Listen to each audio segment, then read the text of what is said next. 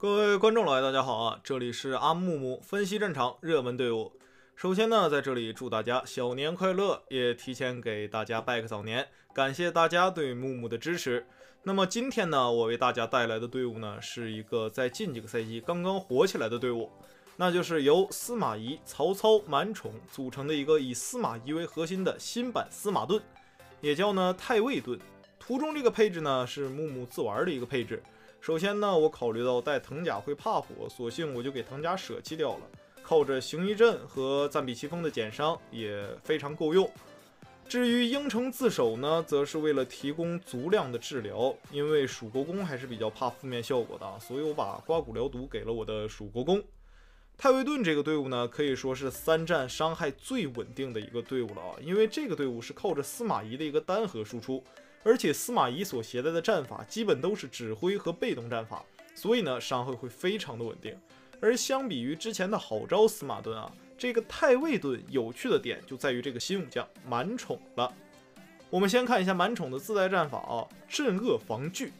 一个指挥战法，每回合判定一次，有百分之五十的概率呢选择另一名副将援护所有友军。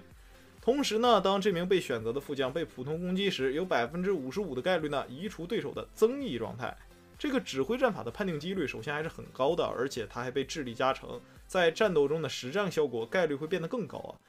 而且这个战法其实很好理解，就是满宠把另一个副将扔出去挨揍，所以呢副将的四维一定要坚挺，能扛住伤害啊。于是呢，我们的魏国万能辅助曹老板就加入了战场，携带上魅惑呢，还有概率对敌方武将造成控制效果，哎，就很舒服。但是呢，划重点啊，这个队伍非常怕携带当风的队伍，例如吴枪等等，因为这个队伍基本上没有主动战法，所以他非常害怕尾爆效果，在战场上啊一定要注意。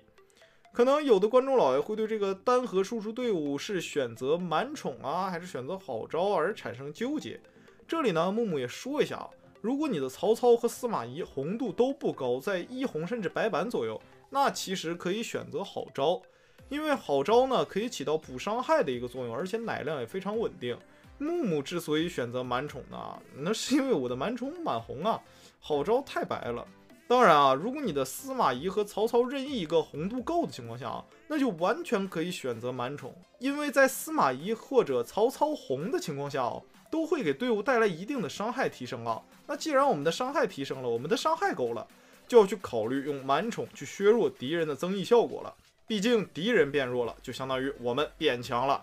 总的来讲呢，太尉盾这个队伍现在在 PK 赛季战场上效果非常不错。面对蜀国公、吴起、虎臣以及一众突击队伍，效果都非常好，是一个比较推荐的队伍。但是白板会缺失一定的伤害啊，一定要注意。